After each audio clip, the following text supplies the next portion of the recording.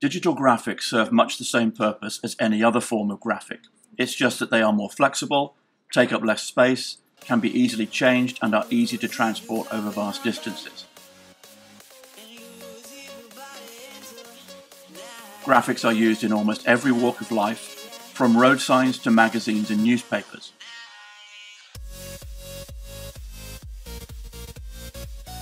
Graphics needs to be fit for purpose, that is to say they need to do what they are designed to do, be read from a distance in a moving car for example, and be attractive, like the cover of a magazine. Ultimately, they need to quickly communicate meaning, like a toilet sign or workman digging. Good graphics are usually simple and pleasant to look at, using colours that are appropriate for the sector with which they are associated. Blue for big multinational businesses, especially technological businesses, yellow and red for food, like McDonald's, and green for natural or nature-friendly businesses. It is perhaps no surprise that BP used green and yellow in their logo to imply that they are friendly to the environment. Logos are graphics in their purest, minimalist form, and a great deal of time and effort goes into designing things to look both simple and elegant. Take, for example, the Nike tick.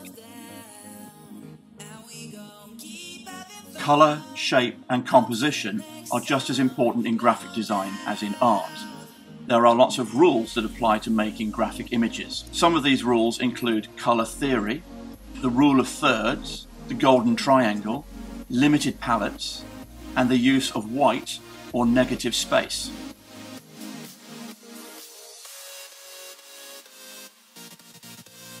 Colour theory works on the colour spectrum of light as we see it. There are three primary colours, red, blue and yellow. There are three secondary colours, purple, green and orange. In addition to that, there are the tones of black and white. Colour wheel best illustrates these different colours and all the shades in between. Set out like this, we can look at sympathetic colours, the ones immediately surrounding our chosen colour, and contrasting colours, the ones opposite them on the wheel. In fashion, these contrasting colours are often used as complementary colours in that they are used together for aesthetic purposes. As this chart illustrates, it's not quite as simple as the previous statement indicates, but clearly there is a great deal to be considered when choosing the colours you might use when making a digital graphic. The rule of thirds. The rule of thirds is a basic composition tool taken from art. In artistic composition, it has long been recognised that the placement of objects in a picture will have a direct impact on the way it is viewed. Just as a musician composes music an artist composes their picture. Certain rules have been derived from this process over many centuries, and one of the most important of these is the rule of thirds. Rules like this are often referred to in media as codes and conventions. It is also considered conventional to frame most subjects in a camera lens according to this artistic rule. Basically, the rule states that you should not place your horizon in the center of the frame. Instead, it should be on the top third or the bottom third. In other words, your landscapes should only be one third sky or two thirds sky, but not 50 50. Similarly, objects and people should be framed to the left or the right thirds, not in the centre. The Golden Triangle.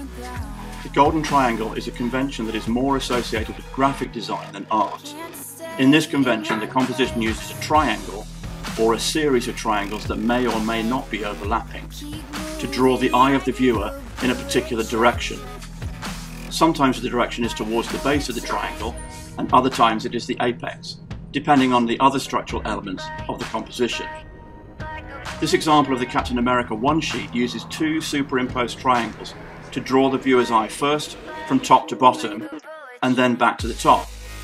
While we assume that we always view images from top to bottom, this is not the case, and our eye is often directed by compositional elements, in this case, the golden triangle.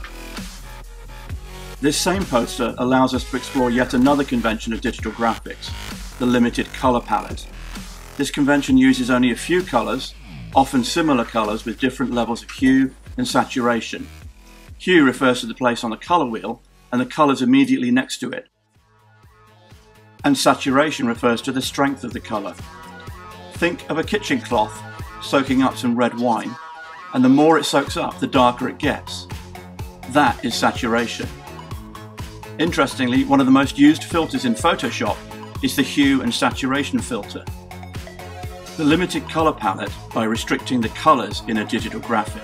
The artist or designer can create a sense of the compositional elements belonging together while at the same time evoking some level of emotional sense from the whole.